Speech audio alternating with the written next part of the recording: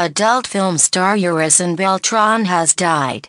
Porn star Yuri Luv real name Yurizan Beltran has died at the age of 31. The tragic news arrived via a statement from porn star Platinum on xbiz.net. It is with a heavy heart I write this.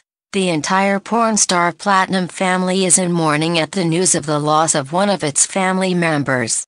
Yuri was found today at the age of 31. Dan Hogue, director of business development for porn star Platinum, wrote, She was always kind to me and we will miss her. Head here to see all the celebrities we've lost in 2017.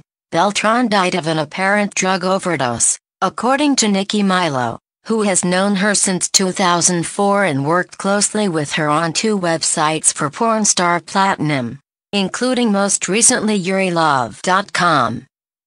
She was discovered by the owner of the house where she was living in Bellflower, CA. There were pills found near the bed. The stunning adult actress passing has rocked the industry. Since news of her death was announced, Twitter was flooded with touching notes commemorating Yuri's life.